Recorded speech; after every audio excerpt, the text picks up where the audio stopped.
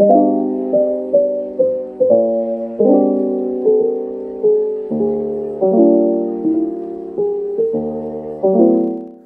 छोले बनाने के लिए सबसे पहले हम कढ़ाई में थोड़ा सा ऑयल डालेंगे अब ऑयल गर्म हो चुका है इसमें मैं यहाँ पर जीरा डालने वाली हूँ जीरा जैसे ही होने लग जाए हल्का सा ब्राउन मीडियम साइज़ के मैंने यहाँ पर प्याज लिए हैं। इसमें मैंने थोड़ा सा धनिया डालकर सबको एक साथ पीस लिया है। गैस मीडियम ही रखेंगे और जब तक प्याज हमारा ब्राउन ना हो जाए, इसको इसी तरह से मीडियम गैस पर हिलाते रहेंगे बीच बीच में अब आप देख सकते हैं, ये जो प्याज का मसाला हल्का ब्राउन हो चुका है और इसमें मैंने जो धनिया की पत्ती मिक्स की है, वो ऑप्शनल है। अगर आप नहीं चाहते तो सिर्फ़ तीन मीडियम साइज़ की प्याज लेकर मसाला पीस सकते हैं। अब मैं इसमें, यहाँ पर मैं दो चम्मच अदरक लहसुन, जो छोटा छोटा कटा हुआ है, वो प्याज के साथ मिक्स कर रही हूँ। इसको हम दो से तीन मिनट ऐसे ही भुनेंगे। दो से तीन मिनट होने के बाद हम इसमें मसाले मिक्स करेंगे।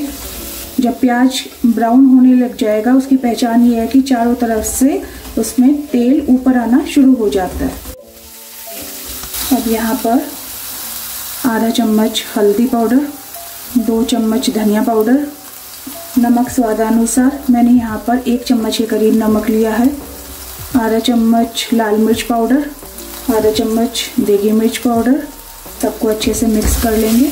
अब इसमें मैंने तीन मीडियम साइज़ के टमाटर को लेकर पीस लिया है, ये मिक्स करेंगे। गैस मीडियम ही रखेंगे। 15 से 20 मिनट के लिए ऐसे ढक देंगे और बीच बीच में हिलाते रहेंगे। अब आप ये देख सकते हैं कि मसाला तैयार हो चुका है। कलर भी इसका बदल चुका है।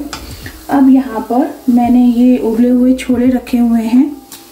मैंने ये वाली कटोरी का साइज़ लिया है वन एंड हाफ़ कटोरी। मैंने छोले पाँच छः घंटे की भिगोकर उसके बाद इसको उबाल लिया है। अब इसमें मैं यहाँ पर दो स्पून के करीब छोले अच्छे से इसको मैश करूँगी। ग्रेवी को ये अच्छा गाढ़ा लुक देता है और इसका टेस्ट भी अच्छा आता है। इस तरीके से इसको दबा देंगे। ग्रेवी में ये अच्छे से मिक्स हो जाना चाहिए। पाँच से दस मिनट हम इसको अच्छे से इसी के अंदर मिक्स करेंगे इसी तरह। गैस को मीडियम ही रखेंगे। जब तक ये हमारा मसाला हो रहा है इस तरीके से, तब तक हम इसमें चाय की पत्ती का पानी तैयार करते हैं डालने के लिए। तो चाय की पत्ती का पानी बनाने के लिए मैं यहाँ पर एक गिलास पानी यहाँ डाल रही हूँ। और जब ये उबलेगा, तब हम इसमें चाय की पत्ती मिक्स करेंगे। तब तक हमारा मसाला भी तैयार हो जाएगा। इन छोलों को आप पूरी के साथ, भटूरों के साथ, किसी के साथ भी खा सकते हैं। और अगर आपको लगे कि मसाला ज़्यादा थिक हो चुका है, चिपक रहा है तो इसमें हल्का सा हम पानी डालेंगे। इस तरीके से बीच में इसको दबाते रहेंगे। अब ये पानी उबल चुका है। इसमें मैंने दो चम्मच चाय की पत्ती ली। आप कोई भी चाय की पत्ती का यूज़ कर सकते हैं।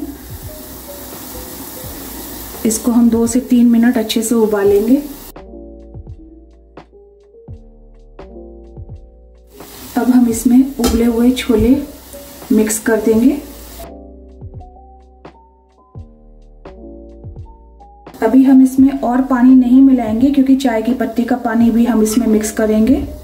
अब गैस को बंद कर देंगे और चाय की पत्ती का पानी हम छोलों में मिलाएँगे। चाय की पत्ती का पानी छोलों में इसलिए मिलाया जाता है कि छोलों को काला रंग देने के लिए।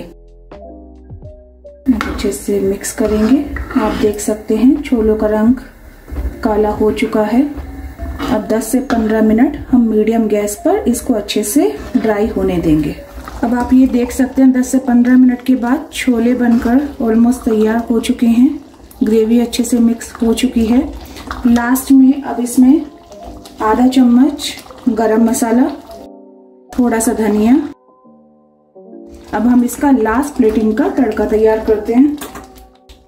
आधा चम्मच घी, ये छोले हो चुके हैं। अब मैं इसको गैस को बंद कर रही हूँ।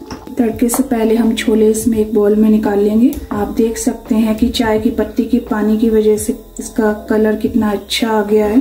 अब ये घी गर्म हो चुका है। ये मैंने अदरक को बिल्कुल पतला पतला काटा हुआ है। दो हरी मिर्च। इसको हमें बहुत ज़्यादा फ्राई नहीं करना है। एक मिनट बहुत है। अभी मैं इसमें हल्का सा लाल मिर्च का पाउडर थोड़ा सा, ज़्यादा नहीं, थोड़ा सा सबको अच्छे से मिक्स कर देंगे। और ये हमारा छोले का तड़का ऊपर से तैयार हो चुका है। अब हम इसको छोलों में ट्रांसफ़र करेंगे। ऊपर से बारीक बारीक कटा हुआ हरा धनिया। और ये हमारे छोले बनकर तैयार हो चुके हैं।